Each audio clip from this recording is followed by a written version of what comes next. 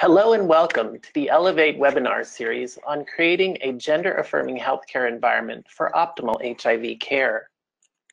This webinar would not be possible without the considerable expertise and valuable contributions from Asa Radix from Callen Lorde Community Health Center, Madeline Deutsch from the Center of Excellence for Transgender Health, Tonia Poteat from John Hopkins Bloomberg School of Public Health, the Annenberg Center would like to acknowledge and thank each of them for helping make this webinar series possible and for all the content presented in the live specialist and primary care meetings associated with this activity.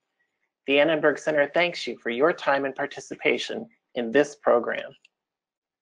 Our guide and narrator for this webinar is Dr. Andy McCray, Scientific Director for the Annenberg Center for Health Sciences.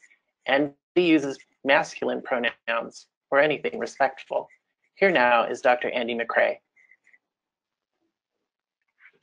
Hello. I'd like to begin by sharing a true story about care experienced by a fellow healthcare provider. In 2010, Laura returned to Tulsa, Oklahoma, following a week-long stay in California where she had just undergone secondary genital reassignment surgery. Laura went to California so that the procedure could be performed by the surgeon who had completed her original genital reassignment surgery in 2005. Her surgeon was one of the leading specialists in the world, a gynecologist who herself had traveled the same medical journey as Laura, from male sex designated at birth to female. Shortly after returning to Tulsa, Laura developed a minor but extremely painful abscess around one suture. Because Laura's family practice physician was not available on the weekend, she went to a relatively new, well-regarded healthcare center. The receptionist was pleasant, and the physician, a man about 50 years old, entered the room, smiling and friendly. When Laura explained why she was there, the friendliness quickly evaporated. The smile disappeared, his face contorted into an expression of disgust, and as he fled the room without examining Laura or obtaining any further history, he said to her, Go back to California. Laura was devastated, angry, embarrassed, and ashamed. And it was not the first time Laura was made to feel this way. Like you, Laura is both a provider and a patient. She is someone who is well informed and, ex and experienced providing healthcare.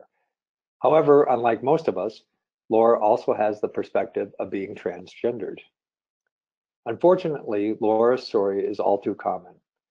In a 2010 Lambda Legal report, 70% of transgender respondents stated they experienced some kind of mistreatment or discrimination from healthcare providers.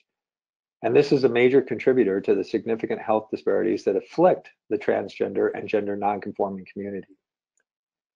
These disparities and the patient stories behind them led those of us at the Annenberg Center to ask, as a continuing medical education provider, what can we do differently to foster a more positive healthcare experience and better health outcomes for this vulnerable population? The good news is the evidence and best practices are well understood and it all begins with you. So thanks again for joining us in this important effort. Let's get started. This webinar is divided into five modules and you are encouraged to review the modules in sequence. In Module 1, we will describe some basic terminology pertaining to transgender nonconforming individuals. In Module 2, we explore the healthcare disparities experienced by these patients and their underlying causes. To become more com comfortable with the spectrum of differences, Module 3 provides an overview of sexual orientation, gender identity, and expression. In Module 4, we review some general approaches for providing a welcoming and culturally responsive gender affirmative trans care.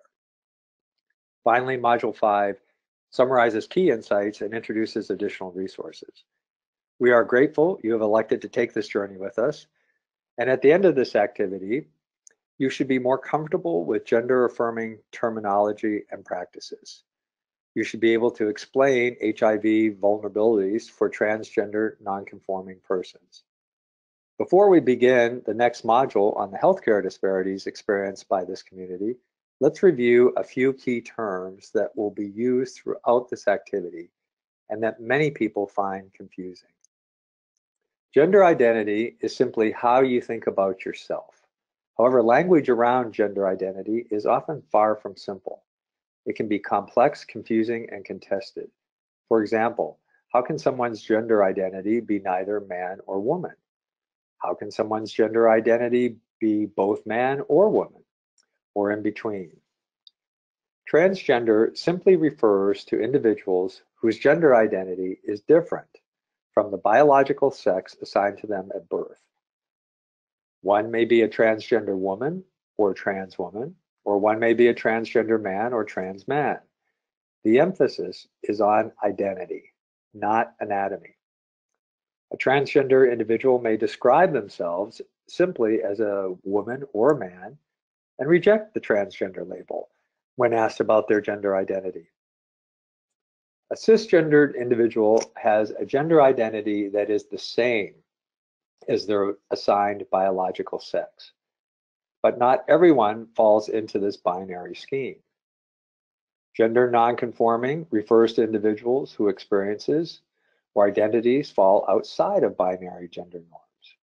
A gender nonconforming person may or may not identify as transgender, and they may use terms like genderqueer, gender fluid, or non-binary to describe their gender identity.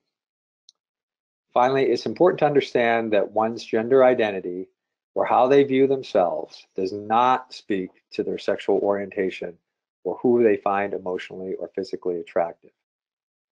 Transgender nonconforming individuals can have any sexual orientation. In Module 3, we will discuss gender identity and sexual orientation in greater detail. So one of the first questions that's usually raised when people talk about HIV among trans people is how many people are trans in the United States? Unfortunately, the data we have to answer that question is quite limited. And some of the answers depend on how you ascertain transgender status. For example, younger adults, 18 to 24 year old, are more likely to identify as transgender compared with older adults. A recent 2017 meta-analysis estimates that in the US, one in 250 adults is transgender. So if you are a primary care provider with a patient panel between 1800 and 2500, you may have seven to 10 transgender individuals under your care. In our next module, we'll review generally how our trans patients' health compares to overall patient population.